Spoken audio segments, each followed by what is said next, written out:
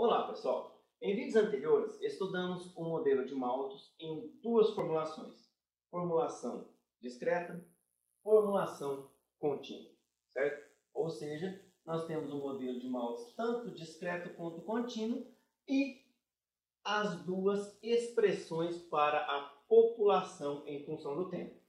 Muito bem. Pergunta: os dois modelos são equivalentes? Se eu tentar discretizar o modelo é, de Malthus contínuo, eu vou chegar no modelo discreto?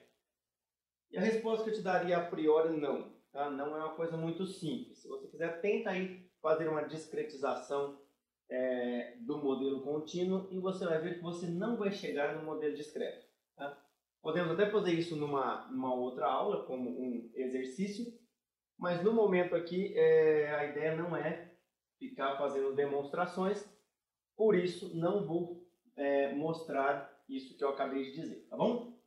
Muito bem, mas se são duas formulações para um mesmo modelo, eles têm que ser compatíveis, eles têm que ser igual de alguma maneira, beleza? Dá para fazer isso? Dá. Dá para mostrar que essas duas funções são iguais. E em que caso?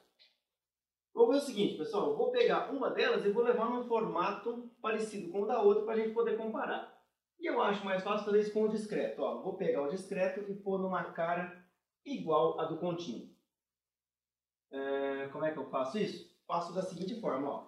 n é igual a n0. Para ficar parecido com isso, precisa ter um exponencial, não tem? Então, ponho um exponencial e para não alterar a função, eu ponho exponencial do ln. Pronto. Agora eu posso comparar os dois. Tranquilo?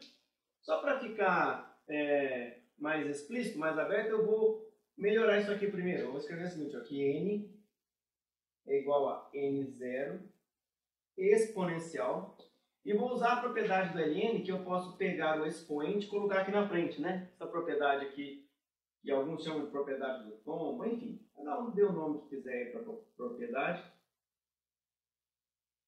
Mas é essa aqui, certo? Eu posso pegar o t e colocar aqui na frente. Então, n é igual a n0 exponencial de t ln de 1 mais alto.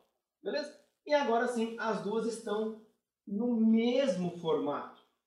Correto? Olha só.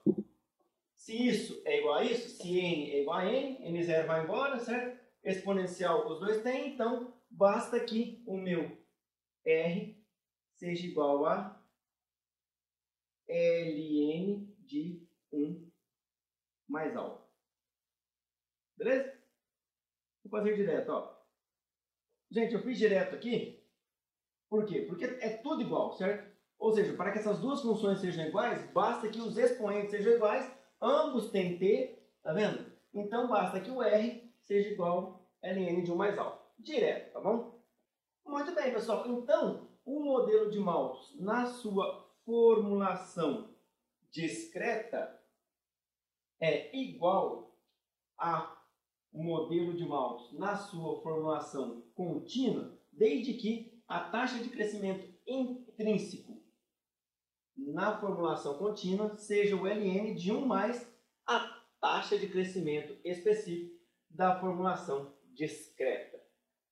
Pessoal, eu não falei isso é, quando eu estava abordando os dois, mas notem o seguinte, quando eu tenho na formulação contínua dn dt igual a rn, se o R é positivo, a população cresce. Se o R é negativo, a população decresce.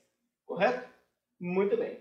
Lá na formulação discreta, que eu tenho que N de T mais 1 é igual a 1 mais alfa N de T, olha só, a minha população vai crescer e volta lá, né? Se você não se lembra, volta lá no videozinho da função contínua com o da função da formulação contínua e da formulação discreta. E você vai notar que na formulação discreta A população crescia, certo? Quando o alfa era positivo. E a população decrescia quando alfa era negativo.